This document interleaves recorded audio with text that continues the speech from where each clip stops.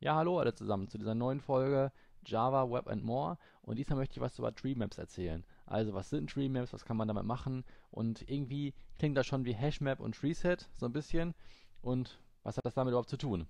Noch eine Kleinigkeit in eigener Sache. Java Web and More ist jetzt auch auf Twitter und auf Facebook vertreten. Die Links sind unten eingeblendet.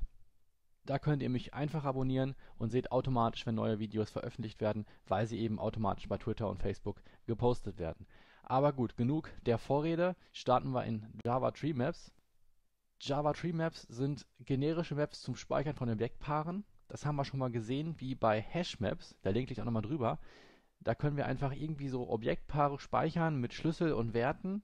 Das ist ganz ähnlich wie bei Hash Maps. Aber trotzdem können wir über die Schlüsselliste sortieren. Das ist wie bei der Tree Set, dass wir nach einer vorgegebenen Ordnung automatisch Sachen zurücklesen können also, oder eine Ordnung haben, mit der wir eben Sachen sortieren können und sagen können, gib mir das kleinste Element, das größte Element, wie auch immer.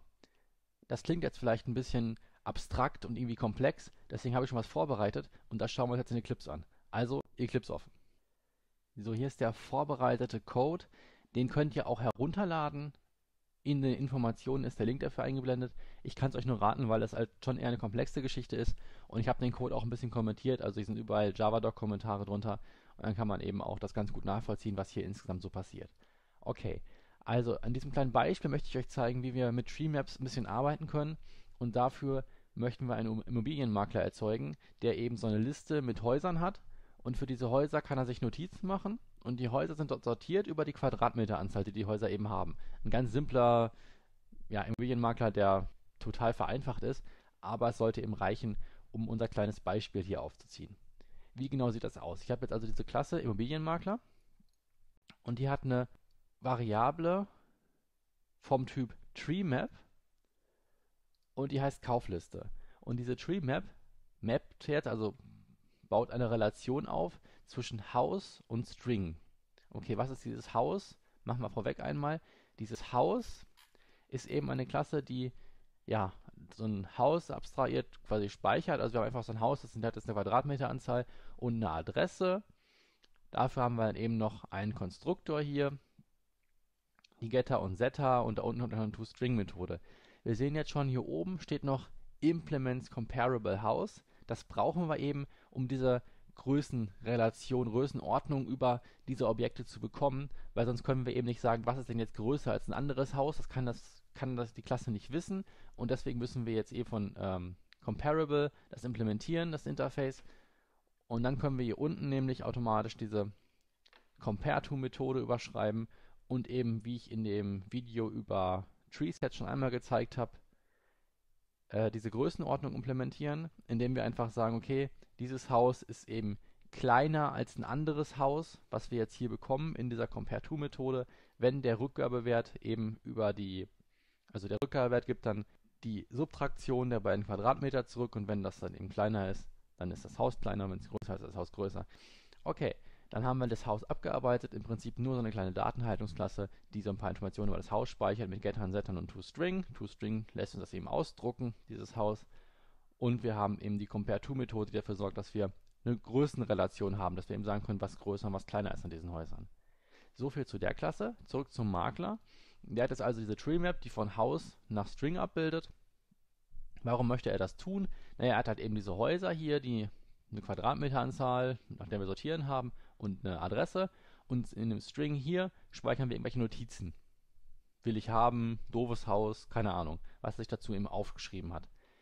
Im Konstruktor erzeugen wir dann einfach nur eine neue Tree-Liste, äh, eine neue Tree-Map dafür, für Haus und String. Und dann kommen wir schon zu den eigentlichen Methoden. Also wir haben einmal eine Methode, die ein neues Haus hinzufügt. Wie geht das jetzt? Wir übergeben jetzt also eben Quadratmeter als Integer, Adresse als String und die Notiz als String. Und dann können wir jetzt einfach Kaufliste.put, also wir wollen da was reintun, einmal ein neues Haus mit Quadratmeter und Adresse. Das ist eben der Konstruktor aus diesem Haus hier. Wenn wir jetzt gucken, hier war der Konstruktor, der erwartet Quadratmeter und eine Adresse. Und deswegen übergeben wir das eben auch hier an dieser Stelle. Das zweite ist dann eben die Notiz, was wir hier brauchen. Und die bekommen wir über den Parameter hier oben als Eingabe in die eigentliche Methode neues Haus. So können wir ganz simpel mit dieser Methode eben Häuser in diese Kaufliste hinzufügen. Jetzt habe ich ja schon gesagt, haben wir eine Relation, eine Größenrelation über diese einzelnen Häuser. Und deswegen können wir sowas machen wie äh, hole kleinstes Haus. Also Public ist die eben, die ist öffentlich, da können wir darauf zugreifen von außen. Die gibt ein Haus zurück, eben das kleinste. Und wie machen wir das? Wir können jetzt einfach sagen Kaufliste, Punkt, First Key. Weil wir eben diese Ordnung haben, können wir sowas machen wie First Key. Und das gibt uns eben dann das kleinste Element zurück. Wir sehen auch, wenn ich, wenn ich die mal einmal aufmache hier, also Kaufliste, Punkt, nur mal so um reinzugucken. Jetzt muss ich kurz auf, die, auf den Kontextassistent warten. Hier ist er, dass wir auch sowas haben wie Ceiling Key, Ceiling Entry, Descending Key. Also es gibt ganz viele Methoden, die eben auf die, diese Ordnung anspielen und mit denen wir eben in dieser Ordnung uns durchnavigieren können. Da kann man sehr schön mitspielen. Ja, jedenfalls diese Methode gibt das kleinste Haus zurück. Ähnliches gilt für die Notiz. Da können wir jetzt einfach sagen, hole Notiz. Dann nutzen wir jetzt nicht die Ordnung aus, sondern einfach sozusagen die, die Hash-Funktion, die dahinter liegt, dass wir ein Haus eingeben können und dann eben dafür die Notiz wieder rausbekommen.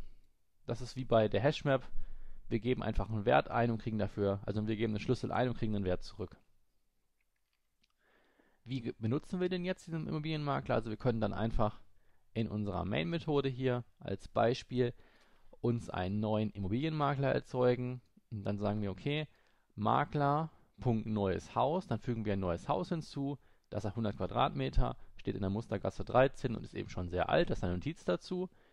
Dann gibt es noch ein anderes Haus, das hat 112 Quadratmeter, steht direkt daneben und ist seiner Meinung nach ein bisschen teuer, obwohl ich den Preis jetzt gerade gar nicht genau spezifiziert habe. Wenn wir jetzt das kleinste Haus zum Beispiel ausdrucken wollen, können wir jetzt sagen System.out.println, kleinstes Haus. Dann können wir sagen Makler, hole kleinstes Haus. Das war ja eben die Methode hier oben, die diese Ordnung ausgenutzt hat, um das kleinste Haus zurückzugeben. Und dann rufen wir aber toString auf diesem Haus auf. Das war ja in dieser Klasse implementiert. Und dann kriegen wir eben das Haus zurück vermutlich, wenn wir gleich nochmal als Praxisbeispiel nochmal sehen, wenn ich starte. Danach überlegt sich der Makler, okay, er ist jetzt ein bisschen weitergefahren, ist in, die Muster, ist in den Musterweg 10 gefahren, 10a und findet noch ein neues Haus. Das trägt er gleich in seine Anwendung mit ein. Das hat 93 Quadratmeter, steht in Musterweg 10a und er sagt sich, okay, das Ding muss ich haben. Das ist seine Notiz dazu. Jetzt können wir nochmal das kleinste Haus ausdrucken, was jetzt das neue Ding ist, mit den 93 Quadratmetern hier. Gleicher Aufruf, sollte also das neue Haus rausgeben. Und dann können wir noch fragen, okay, was war jetzt meine Notiz zu dem kleinsten Haus? Das haben wir dann hier unten in Aufruf. Dann können wir sagen, okay, Makler.hole Notiz. Und dann müssen wir jetzt ein Haus eingeben, weil wir jetzt diese Hash-Funktion ausnutzen. Wir müssen ja jetzt einen Schlüssel eingeben, um einen Wert zu bekommen, wie wir auch bei den Hashmaps gesehen haben. Und da geben wir jetzt einfach Makler.hole kleinstes Haus wieder ein und kriegen das Haus. Das geben wir jetzt als Hash-Schlüssel ein und kriegen dann den Wert zu dem Schlüssel zurück. Jetzt starte ich das Ganze nochmal und dann sehen wir auch gleich in der Ausgabe, dass als erstes ein Haus ausgegeben wird, nämlich das mit 100 Quadratmetern in der Mustergasse 13. Das war das kleinste am Anfang. Und dann hat er das neue gefunden gehabt.